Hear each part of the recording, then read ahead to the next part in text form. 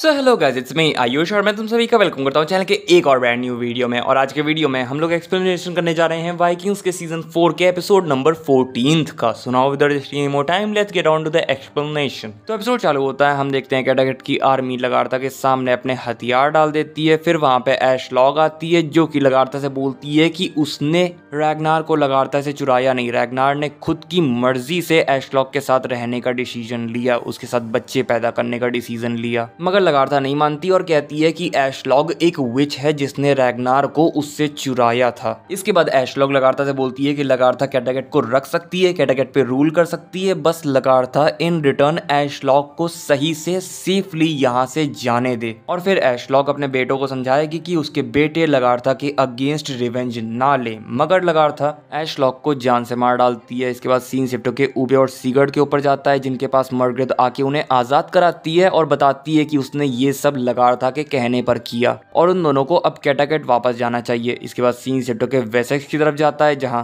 Ragnar और Ivoire के पास Wessex के गार्ड्स आ जाते हैं। वो गार्ड्स रैगनार को पहचान नहीं पा रहे होते हैं कि ये कौन है और रैगनार उन्हें बताता है कि वो किंग एक्बर्ट का एक गुड फ्रेंड है और उसे किंग एक्बर्ट से मिलना है। मगर गार्ड्स रैगनार को बताते हैं कि किंग एक्बर्ट तो यहाँ पर है ही नहीं। इसके बाद गार्ड्स आइवर और रैगनार को अंदर लाते हैं, जहाँ एथलवुल्फ होता है और वो उन गार्ड्स को बताता है कि ये बंदा रैगनार लॉथब्रुक है, जिसके बाद वो रैगनार को उन गार्ड्स को बोल के बहुत ज़्यादा पिटवाता है एंड फिर उसे और आइवर को कैद करा लेता है। फिर वो रैगनार से पूछता है कि आखिर रैगनार के साथी वाइकिंग्स कहाँ पर हैं? क्योंकि उसे विश्वास नहीं हो रहा होता है कि रैगनार यहाँ पे सिर्फ़ एक लंगड़े के साथ आया है। मगर रैगनार उसे बताता है कि नहीं, ये बात सच है, वो सिर्फ़ अपने बेटे आइवर के साथ यहाँ पर आया है। आगे रैगनार एथल वुल्फ से किंग एक्बर्ट के बारे में पूछता है कि आखिर वो कहाँ पर है, मगर एथल वुल्फ कुछ बताए बिना ही वहाँ से चला जाता है। इसके बाद सीन सीडो के कैटेगरी की तरफ़ जाता है, जहाँ एशलॉक का अंतिम संस्कार पूरे रीति रिवाज से किया जा रहा होता है, एंड फिर लगाता है एशलॉक की चिता को आग दे के एशलॉक के अंतिम संस्कार को कंप्लीट कर देती है। आगे हमें दिखाया जाता है कि किंग एक्बर्ट वापस वेसेक्स आ चुके हैं और वेसेक्स आने के बाद वो तुरंत रैगनार से मिलने जाते हैं। इसके बाद किंग एक्बर्ट रैगनार को उसके पिंजरे के साथ डिनर टेबल पे लाते हैं क्योंकि अब काफ़ी समय बीत चुका होता है रैगनार के कैद हुए। मगर रैगनार खाना खाने से मना कर देता है और बोलता है कि वो जब तक अपने बेटे आइवर को खाना खाते नहीं देख लेगा, तब तक वो खाना नहीं खाएगा, जिसके बाद किंग एक्बर्ट आइवर को बुलवाते हैं, उसे खाना खाने को देते हैं और रैगनार से प्रॉमिस करते हैं कि वो आइवर को कोई भी हार्म नहीं करेंगे। और अपने गार्ड्स को आइवर का ख्याल रखने को बोल देते हैं। इसके बाद वेसेक्स के गार्ड्स आइवर को वहाँ से ले जाते हैं एंड अपने बेटे को सही सलामत अब रैगनार भी खाना खाने लगता है। इसके बाद किंग एक्बर्ट सॉरी बोलते हैं और कन्फेस करते हैं कि उन्हीं के ऑर्डर्स पे एथल वुल्फ ने यहाँ वेसेक्स में वाइकिंग्स के खेतों में वाइकिंग्स का स्लॉटर किया था। और किंग एक्बर्ट एक्सेप्ट करते हैं कि ये गलत था और किंग एक्बर्ट को ये ऑर्डर नहीं देना चाहिए था। और किंग एक्बर्ट ने ये सब जो करवाया, ये किंग एक्बर्ट के एक बहुत ही बड़े प्लान का हिस्सा था, मगर रैगनार किंग एक्बर्ट की कोई भी बातों का जवाब नहीं दे रहा होता। इसके बाद किंग एक्बर्ट रैगनार को मैग्नस से इंट्रोड्यूस करवाते हैं और बताते हैं कि ये तुम्हारा और क्विंथ्रित का लड़का है। अनफॉर्चुनेटली क्विंथ्रित मर गई है, मगर किंग एक्बर्ट बोलते हैं कि उन्होंने मैग्नस का पूरी अच्छी तरीके से ख्याल रखा है। मैग्नस अपने फादर रैगनार से मिलकर काफ़ी एक्साइटेड होता है, मगर रैगनार कहता है कि, अरे, ये तो चमत्कार हो गया, क्योंकि उसने कुंद्रित के साथ कभी सेक्स किया ही नहीं था। तो यानी कि मैग्नस उसका बेटा हो ही नहीं सकता, जो सुन के मैग्नस सैड हो जाता है, फिर किंग एक्बर्ट मैग्नस को वहाँ से जाने को बोल देते हैं और रैगनार से कहते हैं कि उन्हें हमेशा से डाउट था कि मैग्नस रैगनार का बेटा है कि नहीं। इसके बाद सीन शिफ्टो के उबे और सीगर्ड के ऊपर जाता है, जो कि वापस कैटागेट आ जाते हैं और लगातार से पूछते हैं कि आखिर एशलॉक कहाँ है। इस पे लगातार उन्हें सारी सिचुएशन बताती है कि उसने एशलॉक को मार डाला है और उसने ऐसा इसलिए किया क्योंकि एशलॉक ने उससे उसका हस्बैंड और घर छीना था। उबे बोलता है कि तुमने हमें भी क्यों नहीं मार दिया? और लगातार उन्हें बताती है कि उसने ऐसा इसलिए नहीं किया क्योंकि वो रैगनार के बेटे हैं। लगातार कहती है कि उसे मालूम है कि ये एक मिस्टेक है, मगर फिर भी वो इस रिस्क को रैगनार के लिए ले रही है। इसके बाद उबे वहाँ लगारता के गार्ड से लड़ के लगारता के पास जाके लगारता को मारने की कोशिश करने लगता है, मगर लगारता के गार्ड्स उबे को पीट देते हैं। सीन सिटो के रैगनार के ऊपर जाता है, जो कि किंग एक्बर्ट से बोलता है कि किंग एक्बर्ट को पावर पसंद है, और किंग एक्बर्ट बोलते हैं कि हाँ उन्हें पावर पसंद है, क्योंकि वो पावर का इस्तेमाल करके अच्छी चीज़ें कर पाते हैं। लाइक उन्होंने अब इंग्लैंड के बहुत सारे छोटे छोटे किंगडम्स को वेसेक्स में मिला के उन किंगडम्स को यूनाइट कर दिया है और एक स्ट्रॉन्ग और बड़ा नेशन बना दिया है, जो कि अब अपने आप को बहुत ही तगड़ी तरीके से डिफेंड कर सकता है, किसी से भी लड़ सकता है। रैगनार किंग एक्बर्ट से कहता है तो मेरे फार्मर्स को वेसेक्स के खेतों पर मारना अच्छा काम था, जिसपे किंग एक्बर्ट रैगनार से एक बार फिर माफ़ी मांगते हुए कहते हैं कि ये एक गलती थी और मैं इस बात को एक्सेप्ट करता हूँ। इसके बाद सीन सिप्टो के उबे और सीगर्ट के ऊपर जाता है, जहाँ उबे सीगर्ट से बोलता है कि चलो जाके लगारथा को जान से मार डाला जाए, जिसपे सीगर्ट बोलता है, नहीं, अगर तुम्हें जाना है तो जाओ, मगर मैं नहीं जा रहा, क्योंकि एशलॉग ने हमसे कभी प्यार ही नहीं किया था। वो सिर्फ़ आइवर और हार्बर्ड से प्यार करती थी। मगर उबे कहता है कि चाहे जो भी हो, एशलॉग स्टिल हमारी मदर थी। इसके बाद सीन सिप्टो के किंग एक्बर्ट के ऊपर जाता है, जो कि रैगनार को उसकी कैद से आज़ाद कर देते हैं, क्योंकि उन्हें अच्छा नहीं लग रहा होता है अपने फ्रेंड को ऐसे कैद हुए देखना। मगर जब रैगनार कैद से बाहर आ जाता है, तब थोड़ी देर के लिए किंग एक्बर्ट रैगनार से डर जाते हैं, मगर फिर बाद में नॉर्मल हो जाते हैं। फिर किंग एक्बर्ट रैगनार को बताते हैं कि यहाँ के सारे लोग, यहाँ से बाहर के सारे लोग रैगनार से बहुत ही ज़्यादा डरते हैं और रैगनार किंग एक्बर्ट से बोलता है कि किंग एक्बर्ट को रैगनार की जान लेनी होगी, किंग एक्बर्ट को रैगनार को मारना होगा। किंग एक्बर्ट कहते हैं कि हाँ मुझे तुम्हारा फेट तो डिसाइड करना ही होगा कि तुम्हारे साथ क्या किया जाए। और रैगनार किंग एक्बर्ट से बताता है कि एक बाबा ने रैगनार से कहा था कि रैगनार की मौत तब होगी जब रैगनार को एक अंधा इंसान देखेगा।